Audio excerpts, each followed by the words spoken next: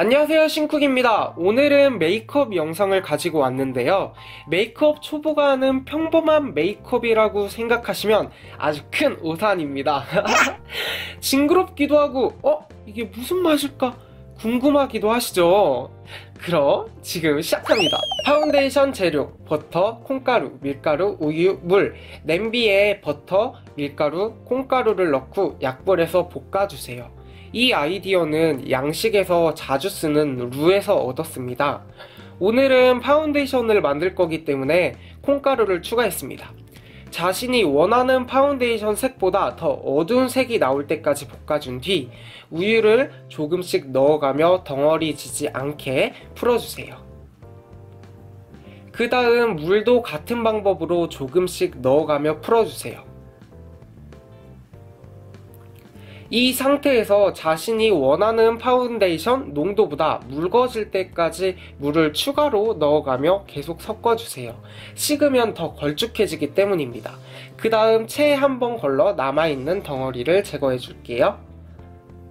이 파운데이션은 한 김 식힌 뒤 병에 옮겨줄게요. 립스틱 재료, 버터, 비트 비트는 적당한 크기로 잘라 물을 소량 넣고 믹서기에 갈아줍니다.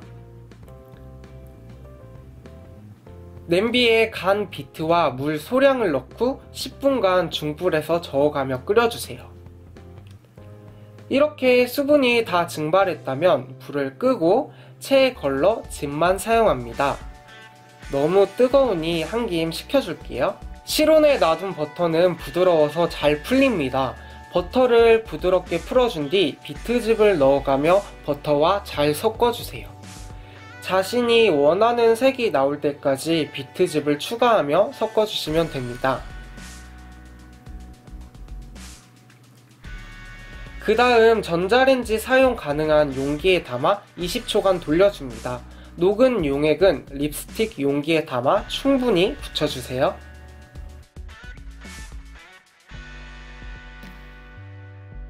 파운데이션은 어두운 컬러와 밝은 컬러 총 두 가지로 만들어 봤는데요. 밝은 컬러는 피부 tone up 효과가 있고 어두운 컬러는 약간의 커버력이 있습니다.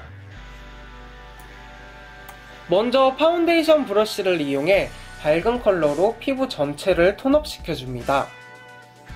그 다음 어두운 컬러로 피부 전체를 얇게 펴 발라줍니다. 그 다음 퍼프로 마무리하는데요. 아주 고소한 냄새가 납니다. 화장하는데 이런 고소한 냄새가 나니 기분이 참 묘하네요. 쉐이딩은 코코아 파우더를 사용했습니다. 발색이 아주 진하지만 뭉침도 엄청 심합니다. 브러쉬를 이용해 턱을 깎아주고 제 낮은 콧대도 세워줍니다. 하이라이터는 전분가루를 사용했습니다.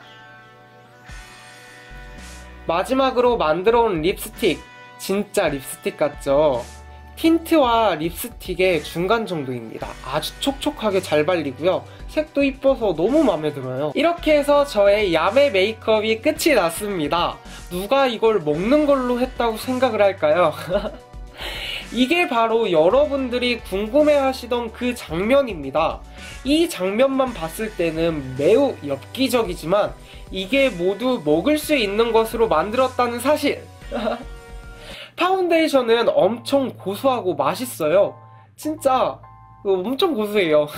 이건 진짜 립스틱 같죠? 제가 생각해도 엄청 잘 만든 것 같습니다.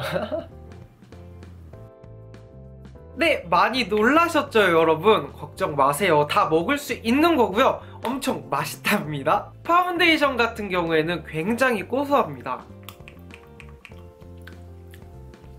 메이크업 하면서도 배고프면 이렇게 먹으면 됩니다. 먹을 수 있는 화장품 만들기 식품 메이크업을 해봤는데 어떠셨나요? 좀 잘 된 것 같지 않나요? 강한 커버력은 없어도 그래도 어느 정도 커버도 다 되고 콧대도 살아나고 턱도 없어지고 립 빨간색 입술까지 완벽합니다. 오늘의 궁금증 해결! 그럼 다음 영상에 봐요. 안녕!